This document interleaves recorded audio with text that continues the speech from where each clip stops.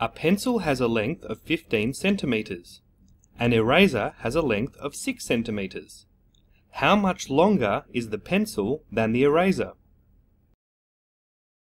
Let's use a bar model to help us find the answer. We know the pencil has a length of 15 centimeters. And we know the eraser has a length of 6 centimeters.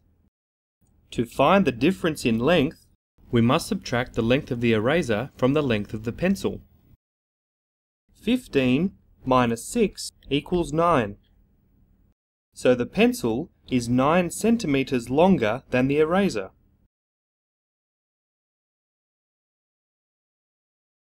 A tree has a height of 14 meters. It is 12 meters taller than the fence. Find the height of the fence. Let's use a model to help us find the answer. We know the tree has a height of 14 meters. We also know that the tree is 12 meters taller than the fence.